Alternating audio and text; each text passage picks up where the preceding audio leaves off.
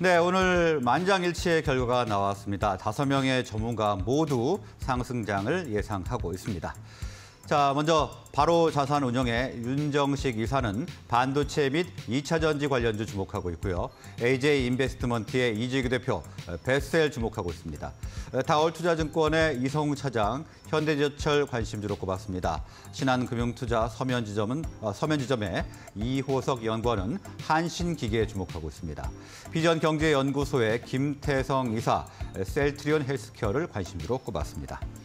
자, 그러면 두 분과 화상으로 이야기 나눠보도록 하겠습니다. 바로 자산운용의 윤정식 이사, AJ 인베스트먼트의 이재규 대표 연결돼 있습니다.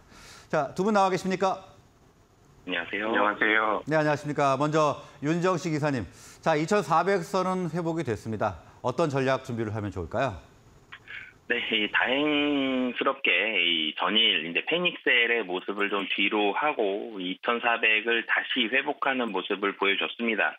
회복하는 와중에 이 외국인도 같이 매수를 해줬다면 좀 더 상승도 컸고 좀 더 좋은 모습이 나왔을 텐데 그런 모습이 좀 아니었다는 점은 아쉽지만 그래도 어찌 됐든 이 panic sell을 좀 멈췄다는 부분들 시장이 사실은 2,400 아래에서는 굉장히 저평가 상태이긴 하거든요. 이 2,400 정도 뭐 본다라면은 이 12개월 예상 PER로 봤을 때 코스피가 8배 초반 정도 수준입니다.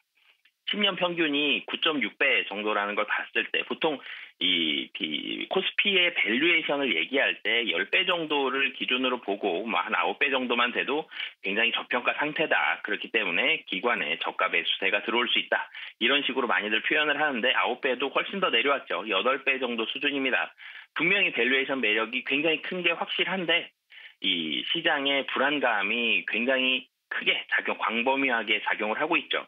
이런 부분들이 panic sell로 작용을 하면서 특히 어제 같은 경우는 뭐 개인들까지도 이제는 매도를 하면서 이 매도세가 나왔지만 외국인의 매도를 모두 덮고도 남을 만큼 강한 기관의 매수세가 들어오면서 좋게 마감을 했습니다.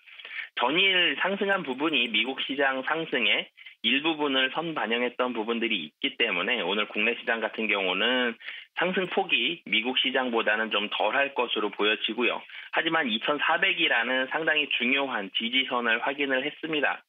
2400이 뭐 순간적으로 하루 이틀 정도 깨질 수는 있지만 굉장히 빠른 속도로 복원할 수 있다라는 점. 장중에 복원하거나 하루 만에 복원하거나 이런 부분들을 확인을 했기 때문에 패닉셀에도 불구하고 2,400은 지켜줄 수 있다라는 부분 그리고 지금 7월 금리 인상 75bp를 시장에선 대부분 반영을 했습니다. 국내 시장 사실 지지선 봤을 때 한 2,650 정도 지지선 하다가 다시 2,600 하다가 이렇게 조금씩 떨어질 줄로 시장은 예상을 했었는데 2,600 지지선에서 2,400 지지선까지 200포인트가 지지선이 한 번에 떨어지는 굉장히 강한 모습을 보여줬는데 이 200포인트의 하락 지지선이 200포인트나 떨어진 부분에 있어서는 6월과 7월에 giant step이 대부분 반영이 된 거거든요. 그렇기 때문에 7월 금리 인상 75bp에 대해서는 시장의 충격은 뭐 그렇게 크지 않을 것으로 뭐 이 이슈가 또 나오겠죠. 7월 FOMC 앞두고 또 75bp 얘기하면서 시장은 또 움직일 수 있겠지만 2,400은 그래도 지지할 가능성이 높다라고 보여지고요. 시장이 이제는 이성을 조금씩 찾아가고 있습니다. 뭐 환율에 있어서도 크게 부담은 안 될 것으로 보여지고요. 그렇기 때문에 예, 오늘 같은 경우는 미국 시장도 좋은 모습 보여줬었던 국내 증시의 시가총액 최상위 종목이면서 기술주에 속해 있었던 이 반도체, 뭐 2차전지 이런 부분들 관심 가지시면서 대부분의 기술주들 반등이 나올 것으로 보여지기 때문에 오늘 시장은 미국 시장만큼 강력하진 않겠지만 그래도 정상을 찾아가는 정상적인 시장의 모습이 나올 가능성이 높다라고 보여집니다. 네, 일단 패닉셀이 멈추면서 2,400선을 지켜낸 것을 의미 있게 보셨고요. 아, 그리고 오늘은 상승을 예상을 하지만 상승폭은 어제 선반영된 부분이 있기 때문에 미국보다는 좀 덜할 것이다 이렇게 예상을 해주셨습니다. 자, 다음은 이재규 대표님 오늘 어떤 전략 준비를 좀 해볼까요?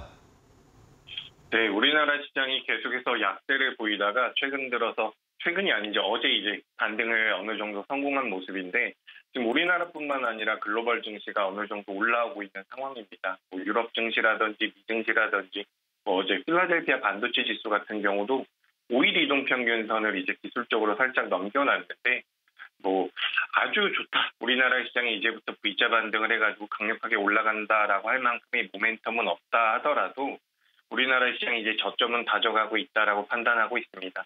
시장 자체에서 뭐 시장에서 계속해서 좀 부정적인 내용이 들리고 있는데 실질적으로 뭐 그런 부정적인 내용이 너무 휘둘릴 만큼 우리 시장이 고평가 상태다 상태로 볼 수는 없기 때문에 뭐 앞서 말씀하신 것처럼 정확히 따지면 명, 명백한 저평가 상태죠. 그렇기 때문에 이런 구간에서는 뭐 투심의 악화로 인해서 지수 자체나 종목 자체는 조금씩 빠질 수 있지만 이제 우리가 투자의 관점으로 보자면 충분히 메리트가 있는 구간이라 이란 말씀 드리고 싶습니다.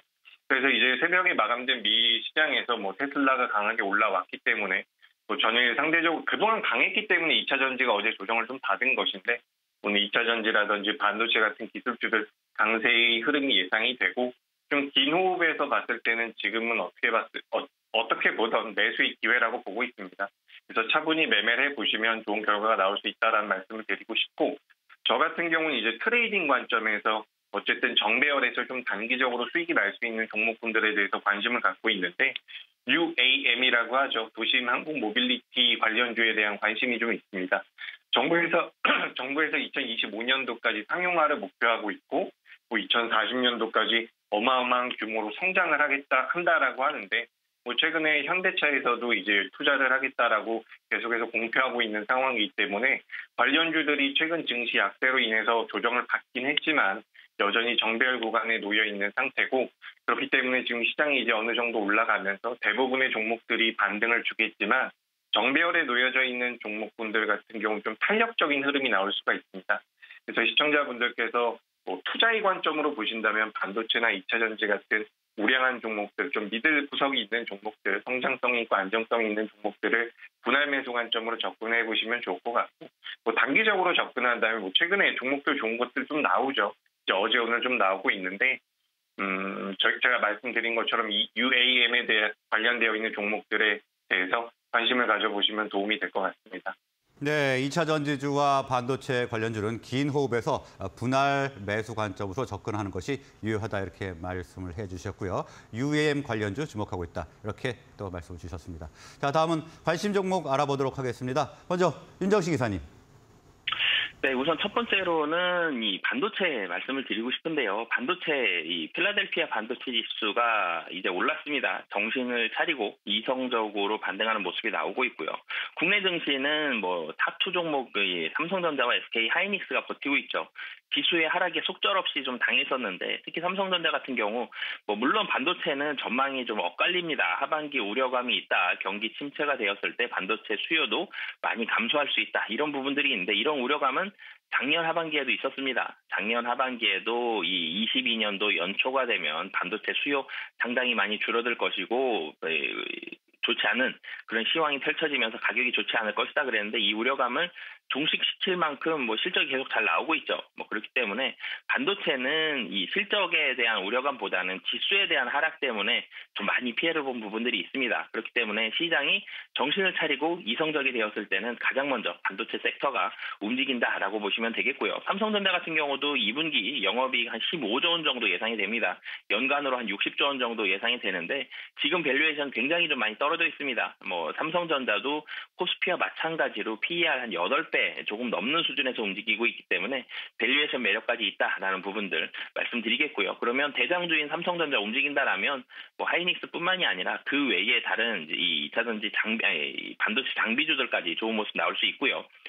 그리고 2차 전지도 좀 말씀을 드리겠는데요. 이 미국에서 테슬라가 급등을 했죠. 이 앨런 머스크의 발언, 이 경기가 침체가 된다고 하지만 우리는 여전히 잘 팔리고 있다라는 얘기를 하면서 상당한 자신감을 피력을 했는데요. 그러면서 아 전기차는 계속적으로 잘 팔리는구나 굉장히 투심에 긍정적으로 작용을 했습니다. 이런 부분들이 국내 시장까지도 잘 펼쳐질 것으로 보여지고요. 이런 부분들은 주가로도 잘 반영이 되었습니다. 최근 한 일주일 정도 보면 2차 전지 관련한 대장주들 주가가 하락하지 않고 있거든요. 시장 많이 하락을 해도 상당히 잘 버티는 모습들 보여줬기 때문에 시장이 상승할 때 좀 더 탄력적인 모습 나올 수 있다라고 보시면 되겠습니다. 네, 반도체와 2차 전지 관련주 관심 업종, 관심 종목으로 어, 어, 분석을 해주셨습니다.